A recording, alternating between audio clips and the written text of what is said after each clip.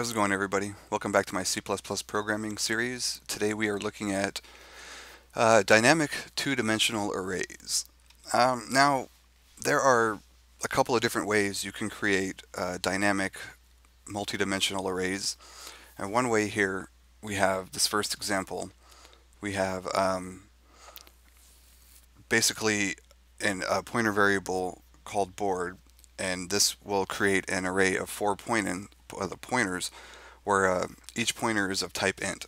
And now because board 0, 1, 2, and 3 are pointers, you can use these pointers to create the new rows of board. Now suppose that each row of board has six columns. So then basically this for loop here will uh, create the uh, the the array. The new int 6 here creates an array of six components of type int and returns the base address of the array. Uh, the assignment statement then stores the returned address into row, which is right here. So that would be the first row, of zero um, of six new integers, and then so on and so forth. So after the execution of the of this loop here, uh, board is a two-dimensional array of four rows and six columns. Now if you replaced the six with the number 10, uh, the loop will create a two-dimensional array of four rows and 10 columns. Um, so basically, in other words, the number of columns of board can be specified during execution. However, the way this board is declared, um, the number of rows is fixed, so in reality, board is not really a true dynamic two-dimensional array. So if you consider this statement here, you can see this declares board to be a pointer to a pointer. Now, in other words, board board, just board here, and then board with a star are pointers. Now, board can store the address of a pointer or an array of pointer of type int, and the star board can store an address of type int into a um, memory space or an array of integer variables. Suppose that you wanted board to be an array of 10 rows and 15 columns. Well, to accomplish this, first we create an array of 10 pointers of type int, which is what we do here, and assign the address of that array to board. then we will create the columns of the board using basically the uh, in the same manner we did here. However, we have the pointer, the new integer pointer of uh, 10 being assigned to board. It's, it's dereferenced here. Now, to access the components of board, you can use the array subscripting notation, um, such as the, uh, the, the brackets there, the square brackets. But also note that the number of rows and the number of columns of board can be specified during program execution as well. We did not really technically do that in the first two examples. So what I'm going to do is comment this out real quick.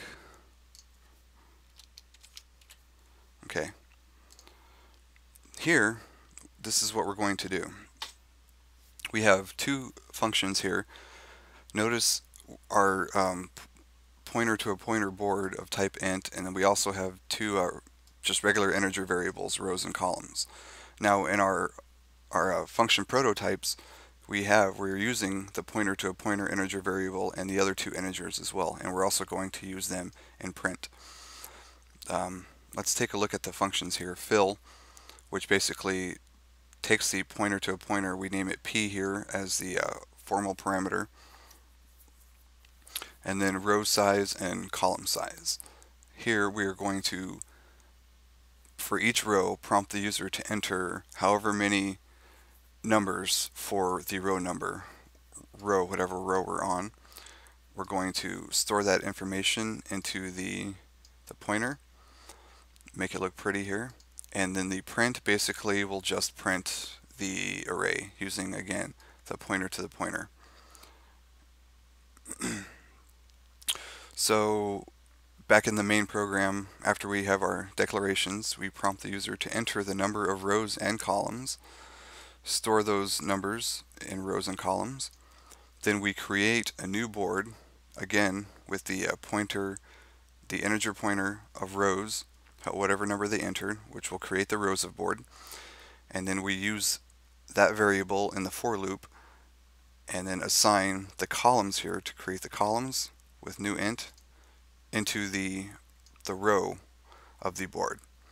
And then, of course, we're going to call our fill function. We're going to um, just fill all of the elements of the array, and then we're going to print them.